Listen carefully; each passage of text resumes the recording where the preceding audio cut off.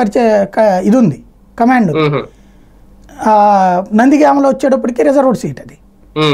జగ్గైపేట వచ్చేటప్పటికి seat already Samineni ఉన్నాడు. ఇప్పుడు సామినేని వెళ్ళిపోయాడు కదా ఓసారి గుర్తుకు తెచ్చుకుంటే ఆ రోజున ఈవిని ఇన్ఛార్జిగా ప్రకటించారు.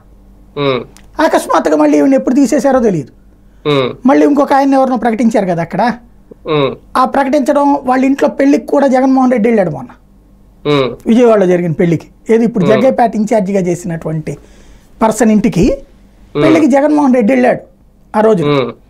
కాబట్టి అంటే ఏంటి? ఇక ఈమె జగ్గైపేట సీట్ రాదు ఇక. ఓకే.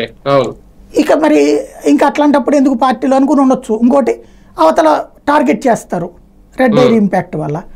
అదే ఇప్పుడు జగన్ని తిడతా ఉంటే ఇప్పుడు రఘురామ కృష్ణరాజు స్పేస్ ఖాళీ ఉంది కొలికిపూడి శ్రీనివాస్ స్పేస్ ఖాళీ ఉంది అంటే ఇదివరకు నాలుగు స్క్రీన్లు ఉండే. ఉమ్, నాలుగిట్లో ఒకటి యాంకరు తెలుగుదేశం ప్రో.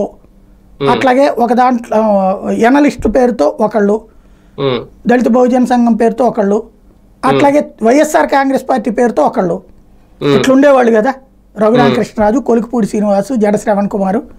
ఉమ్, వీళ్ళది ఒక నాలుగు ఫ్రేమ్స్ కనబడే కదా మధ్యలో ఇంకొకళ్ళని ఎవరన్నా యాడ్ చేస్తుండేవాళ్ళు. పట్టాభినో లేకపోతే అనురాధనో ఇట్లాగా. ఇప్పుడు ఆ ఫ్రేమ్ ఈ మధ్యన ఖాళీ అయింది కొంత. ఇప్పుడు బాలకోటయ్య గారిని ఒకళ్ళని పెడుతున్నట్టున్నారు. తర్వాత ఇంకెవరినో తీసుకొస్తున్నారు.